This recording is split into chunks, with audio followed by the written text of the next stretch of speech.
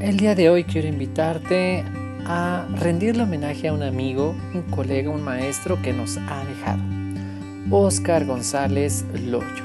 Este pequeño video es un homenaje para todo lo que nos dejaste, mi estimado maestro y amigo. Bueno, pues eh, si quieres hacer conmigo esta caricatura homenaje, ve siguiendo mis trazos, ¿sí? Y mientras tanto yo te voy platicando. Fíjate que el día de ayer vi un comunicado de prensa, pues en todas las redes sociales prácticamente, donde el estudio Kaboom, eh, dirigido y creado por Oscar González Loyo, nos informaba del fallecimiento de el maestro. La noticia fue un shock en ese momento, ya que si bien había estado con problemas de salud, con dificultades, pues se iba reponiendo, iba cada vez a mejor y eh, pues estaba muy animado. Yo estuve en contacto con él vía eh, mensajes y, tenía varios proyectos en puertas, este, estaba desarrollando eh, o tenía pensado desarrollar su cómic también online, en fin, pues yo la, verdad que para mí fue desconcertante. Fue un boom y, el aluvión de noticias y bueno, qué mejor manera en nosotros como dibujantes que poder reconocer, decirle adiós a alguien, expresarle cariño, afecto y aprecio a, a un ser querido que con el mismo dibujo. Bueno, como puedes ver, ahora mismo lo estamos haciendo. Si tú no conociste Oscar González Loyo, tal vez eres de otro país y te estoy hablando de un dibujante, un referente de la historieta del cómic mexicano. Te comento, él nació en 1959, su época de desarrollo como dibujante pues fue prácticamente los 70s, los 80s, los 90s. Eh, entonces estamos hablando de hace muchos años, pero él fue un precursor y un referente de lo que es el cómic de autor de fantasía. Su línea siempre estuvo orientada a los niños, a los jóvenes, a todo público, pero en sus cómics ponía mensajes y ponía toda una serie de conceptos de filosofía, eh, en específico en su cómic estrella o el que fue el estandarte de su después estudio, Estudio Kabum. El cómic que él creó se llamó Karmatron. Karmatron y en él narraba las aventuras de guerreros estelares, de eh, un chico llamado Sasek y de toda la saga que él tenía que vivir para convertirse en un guerrero del bien en el universo, ¿verdad?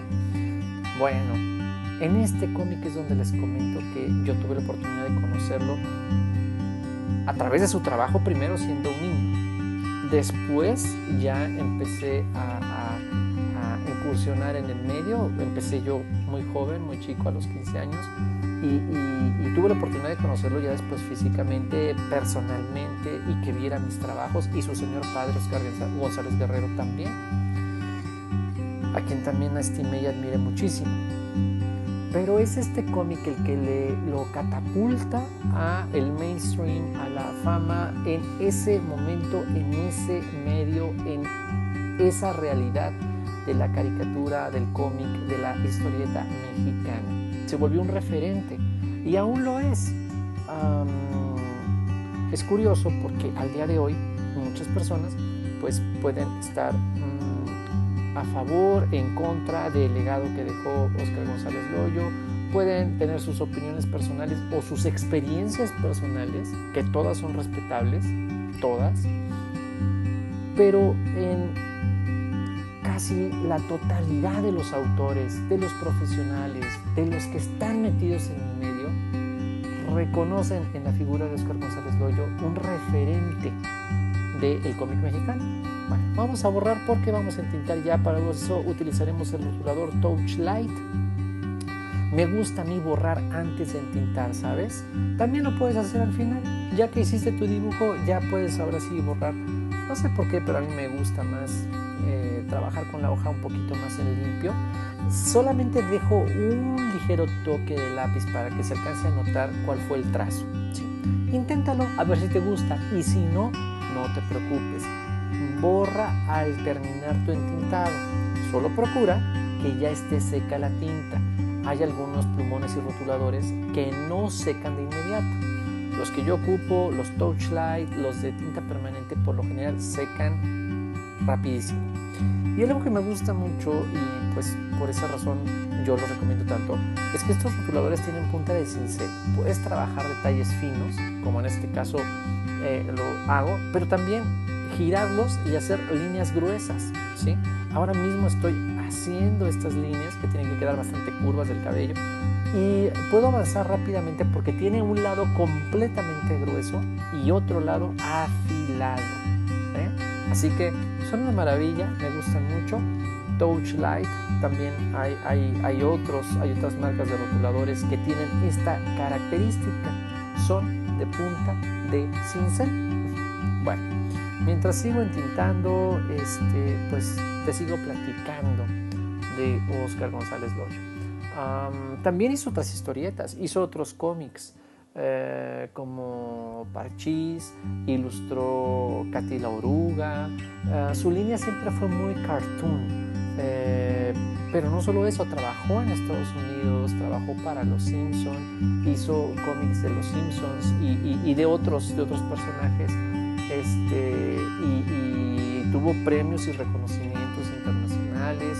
Este, em, creo yo que lo más importante, más allá de los premios, más allá de que pues eh, fuera un talento y, que se le reconozca y recientemente en una convención de cómics en La Mole eh, eh, hicieron todo un homenaje para, para Oscar González Loyo, muy merecido. Más allá de eso, el, yo creo que la principal satisfacción de un autor de cómic es permanecer en el corazón y en el alma de los lectores. Porque al final del día, mis amigas y mis amigos, ¿para qué nos sirve saber dibujar muy bien? ¿O cuál es el sentido de tener mucho virtuosismo dibujando, rapidez, acabados maravillosos, entintados increíbles? ¿Cuál es el sentido si no es impactar la mente, el alma y el corazón de los lectores? A mí, eh, como chico, como niño, me dejó muchos mensajes maravillosos. No entendía muy bien las filosofías dentro de los cómics, lo he comentado y lo sigo diciendo. A mí me encantaba que eran robots y que había aventuras y que sacaba personajes prehispánicos, pero robots, y también sacaba cosas de, de, México y de América y de, y, de, nuestra cultura, ¿sabes? No era ver el cómic de Spider-Man, de Superman, de Batman, que también me encantan, evidentemente, pero aquí era un autor de mi propio país que hacía un cómic de aventuras y de, y de poderes y de superpoderes y de, y de personajes increíbles y, de aventuras cósmicas y era de mi país. Se volvió un referente para mí. A mí eso me emocionó, me encantó, en un momento en el cual tal vez nadie más lo hacía por supuesto que hay muchos y había muchos eh, ilustradores este, y hay muchos grandes maestros de la historieta nacional, pero en un momento en el que la siguiente generación no tomaba esa estafeta, ¿sabes? Había muy buenos historietistas, pero que ya estaban en otra generación y generando otro tipo de contenido. Autores como Sixto Valencia, como Juan Alba, como Ángel Mora, como Rafael Gayud, en fin, etcétera eh, muy reconocidos estaban haciendo una historieta de otro sentido. Oscar González llegó y nos mostró que podía haber fantasía en los cómics y en los cómics de México y en los cómics hechos por un mexicano. Él fundó el estudio Tabú precisamente con esta visión, con la visión de extender fantasía, proteger esta, eh, esta parte del de, el cómic tradicional también, cosa que a mí me encanta yo soy de la idea de, ocupar todas las herramientas tradicionales habidas y por haber, porque, oye, es como tener una casa y explorar todos los cuartos. Me encanta el dibujo digital. Trabajo digitalmente casi el 95% de las cosas. Pero aquí en el canal ustedes son testigos de que me gusta agarrar los plumones y ensuciarme las manos con tinta y el lápiz y todo, tal cual lo estamos haciendo ahora, amigas y amigos. Porque el dibujante para puede ser completo y más versátil si domina todo. Y Oscar fue un defensor del cómic tradicional. Fue un gran amigo, fue eh, una persona a quien yo no conocí mucho personalmente, pero de quien aprendí mucho. Eso para mí es la amistad.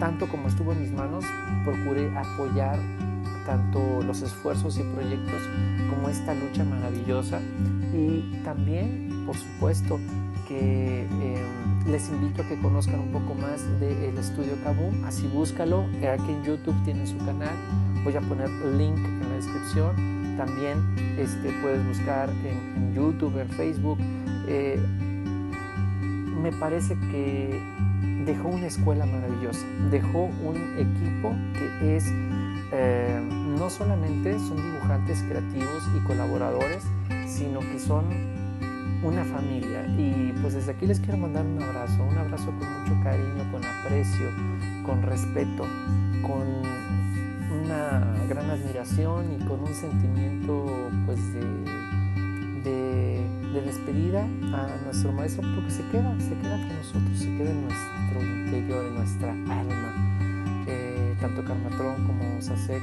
como todos los personajes de esta saga maravillosa. Susi Romero, su esposa, a eh, Mariana Moreno, dibujante de Estudio Cabum, Horacio Sandoval, otro maestrazo también dibujante del, Estudio Cabum, para Tonatiu Rocha, para este, todos los que participan, y discúlpenme si estoy omitiendo, porque sí estoy omitiendo, a, varios colaboradores valiosísimos y a seres humanos maravillosos que son parte del Estudio Cabum desde aquí les quiero mandar un abrazo porque mi querido Oscar está en otro plano, está surcando el infinito, está cumpliendo nuevas misiones.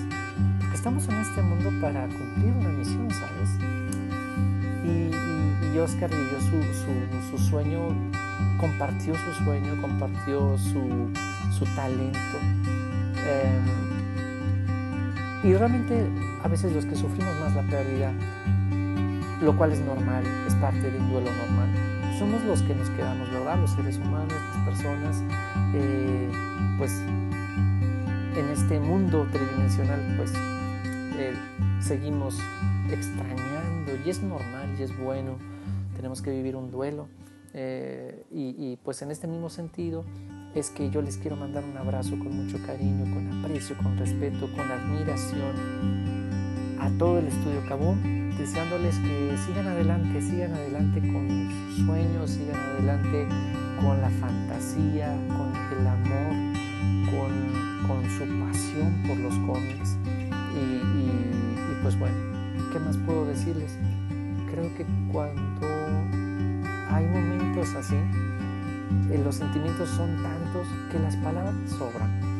Eh, quiero por último, dejarte un mensaje.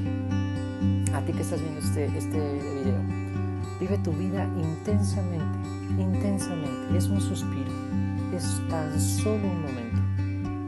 Se va apenas nos damos cuenta. Y disfruta las personas que tienes a tu lado. No sabemos lo que va a pasar el día de mañana, no sabemos, no tenemos escrito lo que, lo que va a pasar. Eh, creo que tenemos que tener siempre presente ese sentido de temporalidad breve en este plano, en este tiempo, en el aquí y en el ahora. Disfruta intensamente tu dibujar, disfruta intensamente tu talento, disfruta del sol, de la naturaleza, de las personas que amas. Dile a todos lo que sientes por ellos, exprésate, no te reserves, no te lo guardes. Vive intensamente cada uno de tus sueños. Si tu sueño es dibujar, dibuja. Si tu sueño es crear, hazlo. No vivas esperando que llegue el momento perfecto porque no llegará. Tú haces que las cosas sucedan y tú haces que llegue ese momento perfecto, tal como lo hizo pues mi querido y admirado maestro Oscar González Loyo, dibujante, creador de, de, Karmatron, creador de, y director de Kabum Studio. Un gran abrazo, un gran abrazo, mi querido Oscar. Muchas cosas de tu filosofía no las entendía, pero una Y eso quiero dejártelo, compartírtelo de la mano de el maestro Oscar y de sus propias palabras. Guarda siempre un lugar en tu corazón para la fantasía, para seguir soñando, creando, haciendo realidad mundos imposibles a través de las páginas y de las viñetas del cómic. Ya nos veremos, mi querido Oscar, en la segunda estrella a la derecha o en donde sea más allá de estos planos dimensionales, de estos mundos en los cuales todavía seguimos por aquí. Te mando un abrazo de luz también a ti. Te quiero mucho, te admiro mucho y ahora más que nunca, pues yo creo que tendremos Karmatron, tendremos Oscar González Loyo y tendremos este mensaje increíble con nosotros viviendo siempre en nuestro interior. La Yumenum Tox Mukilintial. Nos vemos, nos vemos, Oscar. Tu mejor dibujo te está esperando.